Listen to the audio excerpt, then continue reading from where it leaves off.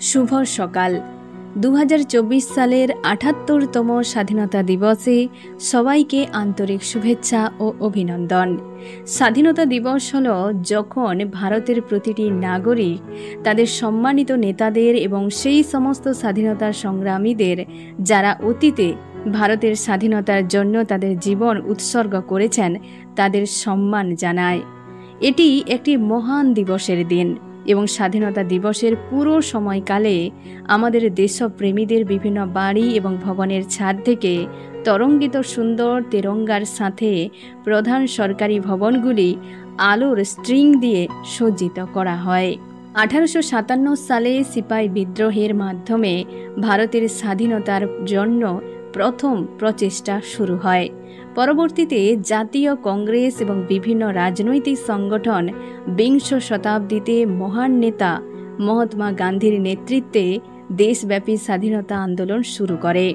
অনেক সংগ্রামের পর এবং আমাদের দেশের বেশ কয়েকজন মুক্তিযোদ্ধা এবং নাগরিকের জীবন হারানোর পরে ঔপনিবেশিক শক্তিগুলি শেষ পর্যন্ত বাতিল করা হয়েছিল এবং পনেরোই আগস্ট উনিশশো সাতচল্লিশ সালে ভারতকে স্বাধীনতা দেওয়া হয়েছিল। এভাবে ভারত একটি স্বাধীন দেশ হয়ে ওঠে এবং স্বাধীন ভারতের প্রথম প্রধানমন্ত্রী পণ্ডিত জওহরলাল নেহেরু তার জনপ্রিয় ডেস্টিনি ভাষণটি দেন। দিল্লি এবং অন্যান্য শহরের মতো জায়গায় ঘুড়ি ওড়ানো স্বাধীনতা দিবস উদযাপনে যোগ করে।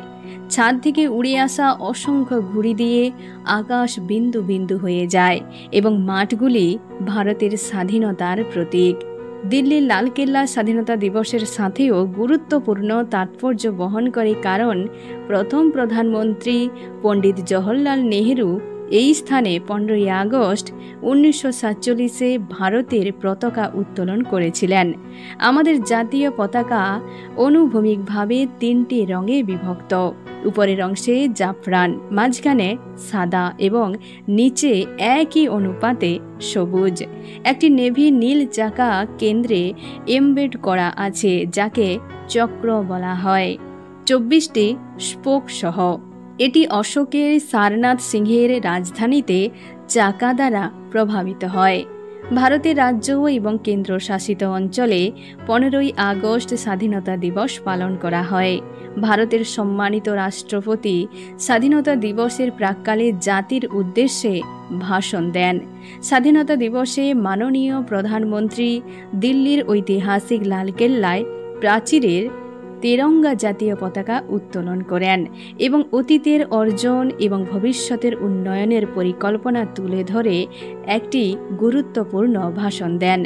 ভারতের বিভিন্ন সরকারি ও বেসরকারি প্রতিষ্ঠানে পতাকা উত্তোলন হয় এবং সাংস্কৃতিক অনুষ্ঠান উদযাপন করা হয়। ভারতের স্বাধীনতা দিবস একটি জাতীয় ছুটির দিন, তাই প্রধান অফিস ও স্কুল বন্ধ থাকে। স্বাধীনতা দিবস সারা বিশ্বে ভিন্নভাবে পালিত হলেও এর তাৎপর্য সর্বজনীন।